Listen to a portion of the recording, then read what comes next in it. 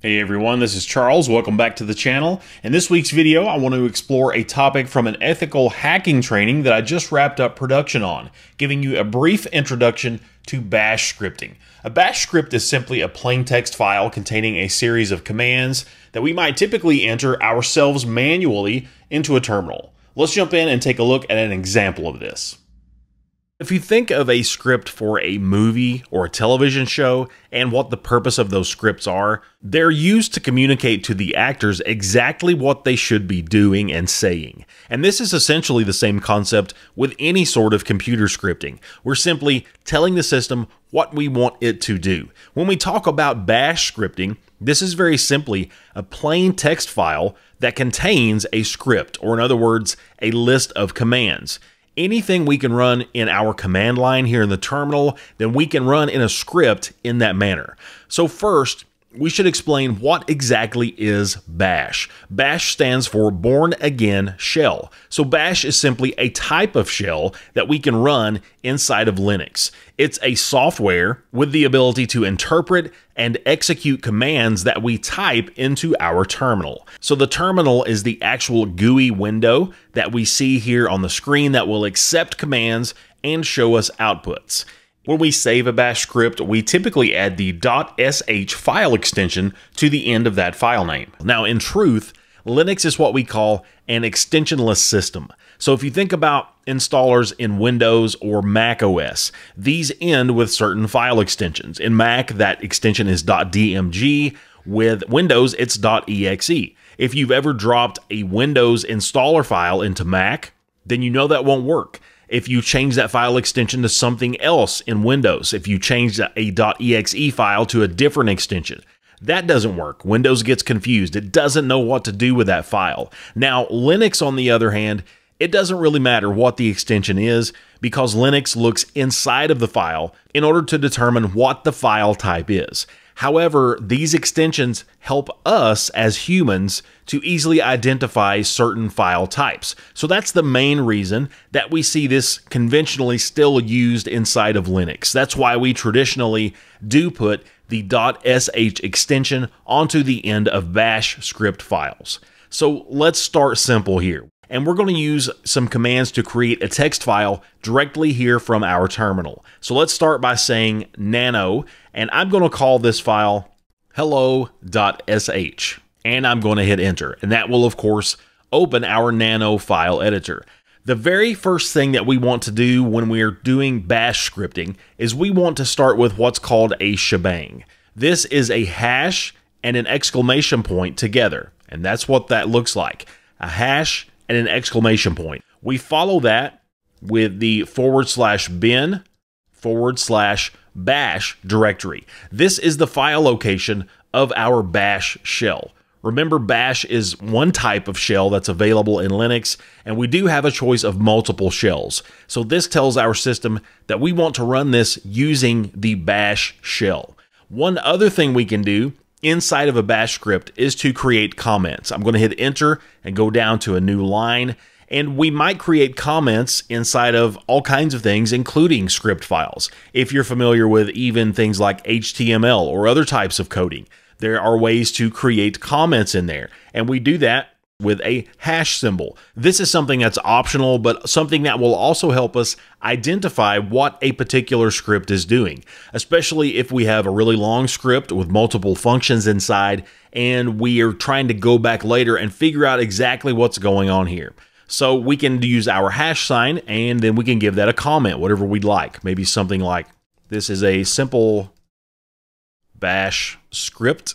I'll hit enter to create a new line. And now I can actually begin to create commands that I want to be executed. So I'm going to start really simple by using the command echo. Echo tells our system to display a string or a line of text inside the output. And I'm going to set my echo message as hello world, the old classic line that we use in most of our simple beginner programming. And that's it. That's all I'm going to create in this particular bash script. So I'm going to hit Control O, which you can see at the bottom tells it to write out, or in other words, to save. It asks me the file name. I'll hit Enter to accept it as it is. Then Control X to exit, and we are now back into our terminal. Now, if we say ls again, you'll see that inside this directory, we now have hello.sh listed inside of there. So it did create our shell script as we wanted it to.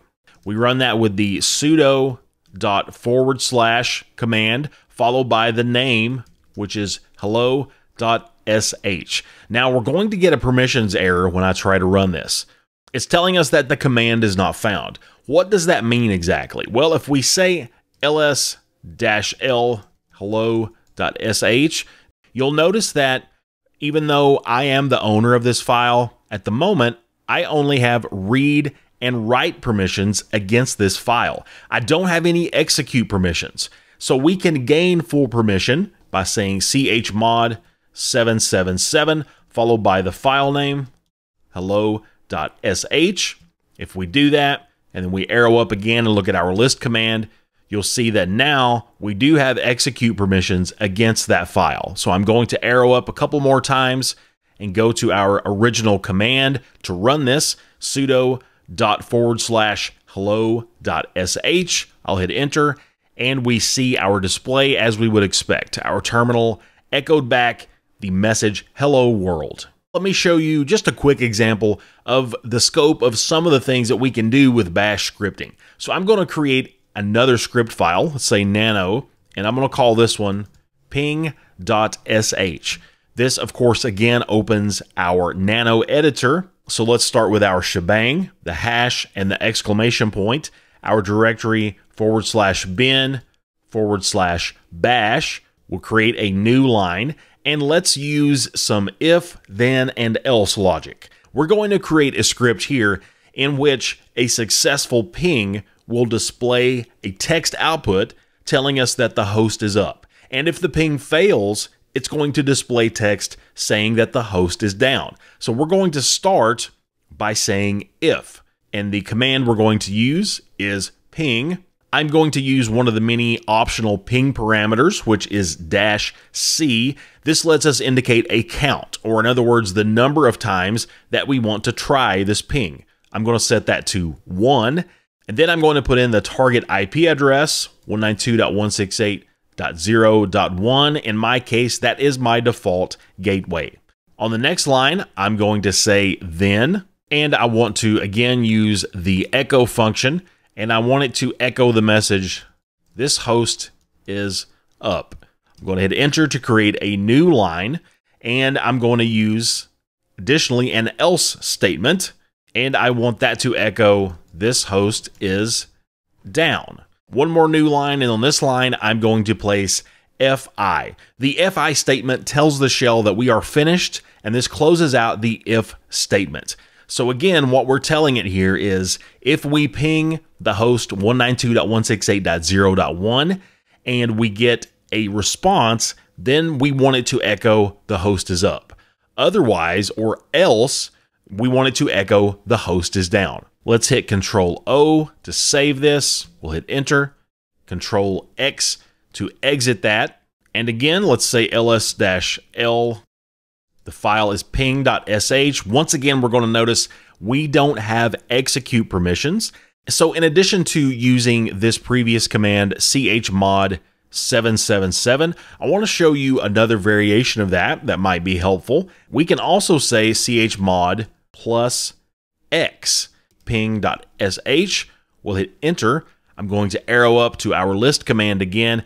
And notice the difference in these. In our previous output, when we ran chmod 777, it gave full permissions to everyone. In this case, it only added execute permissions for everyone. So it doesn't give full permission, but a little bit more granularly provides execute permission. So that's a different option that you can use as well. So let's run this. Let's say sudo dot forward slash ping dot sh and we see our message here letting us know that this host is up. So it did successfully ping that host. Let's arrow up and go back into our nano for ping sh and let's change the IP address to an IP address that doesn't exist on this network. I'm going to control O, then I'm going to control X to exit. We'll execute that once more and it should tell us this time that the host is down, and in fact, we do see that in our terminal output. So that's a quick example of how we can create and use bash script files. Obviously, you can get much more complex and add any commands inside that would be valid within your terminal, even leveraging programming logic to really create some scripts that you could potentially save tons of time with, especially for repetitive tasks. I hope you found this content useful, and I want to thank you sincerely for watching.